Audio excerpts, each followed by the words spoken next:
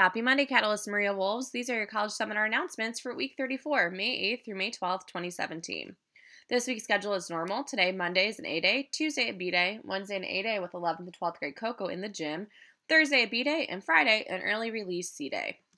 Our college seminar points are finally updated, and almost all of our seminars are still in the running for that top spot for their grade level. For our class of 2020, St. Xavier and Alabama A&M are tied for first. For the class of 2019, the UIC Flames are on top, followed by Loyola. For the class of 2018, Kansas and Johns Hopkins are tied again for first, followed by Penn State. And for our class of 2017, Marquette is number one, followed closely by FAMU. But again, it looks like all seminars are still in it to win it. Keep it up. Our class of 2017 college statistics have been updated to 827 acceptances and over $15.2 million in scholarships. Our most popular college choices for next year include National Louis University and Daley College will have 17 scholars attending there next year. University of Illinois at Chicago, or UIC, will have 16 scholars attending next fall. And Western Illinois University and Northeastern Illinois University will have six of our Catalyst Maria scholars there next fall. Awesome job. As we work to become a Lasallian Service Learning Campus next year, we will engage in a few mini service projects around the school this week and next week.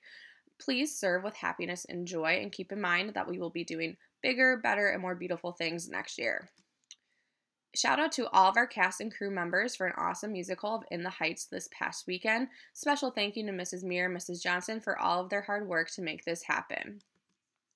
Our volleyball team will face off on May 16th against DePaul Prep, and the team will be advancing, advancing excuse me, to regionals on May 22nd against Marian Catholic. Go Wolves! Our track team this weekend, AJ Robinson, won third place in the 200 meter dash at the city championships. Congratulations! Our baseball team, and the Wolves, are now in first place in our conference with a record of 9 and 2 in conference play. Senior night will take place this Thursday, May 11th at 4:30 p.m. against Hyde Park. We will also be heading to the playoffs on May 17th. Please stay tuned for more information. Our softball team senior night will be this Wednesday, May 10th at 4:30 p.m. Go Wolves. Our Royal Flush dance team auditions interest meeting will be held today after school in room 320, and then tryouts will be Tuesday, Wednesday, and Thursday. As a reminder, scholars must also bring comfortable clothes to dance in. Uniform clothing, jeans, and other non athletic gear will not be accepted for tryouts. Our Lady Wolves basketball team will be hosting a meeting today, Monday, May 8th at 4:15 p.m. in the cafeteria. If you have questions about that, please see Coach White. Our senior perfect attendance raffle. Congratulations to our two winners um, who have won two extra graduation tickets. This is LaShawn Spain and Tequila Butler.